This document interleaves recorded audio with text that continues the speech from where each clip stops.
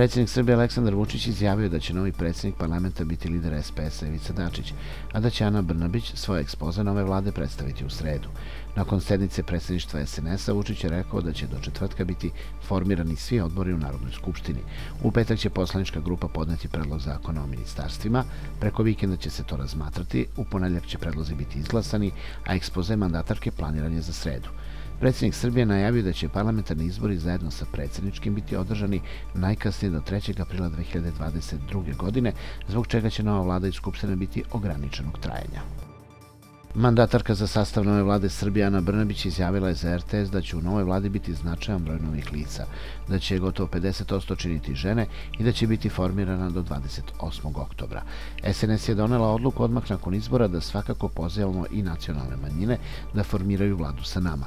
Vidjet ćemo do nedelje kada budem predložila da li će to biti koncentraciona ili ne, navela je mandatarka buduće vlade. Za svakog državotvornog političara najveća je čast biti na čelu najvišeg predstavničkog tela i nosioca ustavotvorne i zakonodavne vlasti u Republici Srbiji, izjavio za Tanjuk predsjednik SPS-a Ivica Dačić, pošto je predsjednik Srbije Aleksandar Vučić saopštio da će aktualni ministar spoljnih poslova u buduće biti na čelu novog parlamenta. Koronavirus je u Srbiji potvrđen kod još 326 ljudi od posledica zaraze, preminule su još dve osobe. Testirana su 7242 uzorka. Povodom povećanog broja zaraženih koronavirusom, mandatarka za sastav nove vlade Ana Brnabić izjavila je gostujući u emisiju Upitnik RTS-a da je juče bilo pogoršanje situacije sa preko 300 novo zaraženih. Mi pratimo situaciju na dva sata. Sinoć u 20 časova smo imali preko 400 novo zaraženih. Imamo situaciju koja je sve kompleksnija. To nam govori koliko su izazovna vremena pred nama i koliko moramo biti oprezni, saborni i poštujemo mere zaštite, dodala je Brnabić. Nacionalna organizacija osoba sa invaliditetom je u prethodnih pet meseci tokom projekta Ljudska prava za sve uradila analizu primjene preporuka Komiteta Ujedinjenih nacija za prava osoba sa invaliditetom.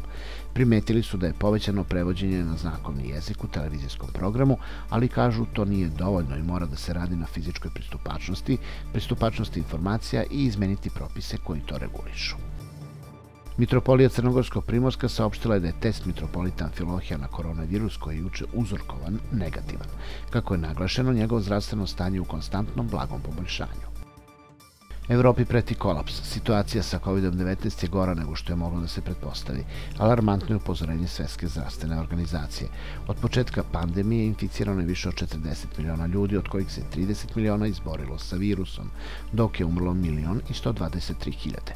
U Sjedinjenim državama virus je odnao 220 hiljada ljudi, a Argentina je peta zemlja na svetu sa više od milion zaraženih. Vlada Nemačke naručići istraživanje o institucionalnom rasizmu u društvu, saopštilo je Nemačko ministarstvo unutrašnjih poslova posle serije skandala izazvanih saznanjem da mnogi policajci i vojnici imaju krajnje desničarske stavove. Meč u Ligi Evrope između Crvene zvezde i Hoffenheima zbog pogoršanja situacije sa koronavirusom igraće se pred praznim tribinama. Utakmice u četvrtak od 21 sata, direktan prenos je na našem prvom programu. Redovno polaganje teorijskog i praktičnog dela ispita u autoškolama u Srbiji prilagođeno je novo nastaloj situaciji usled pandemije.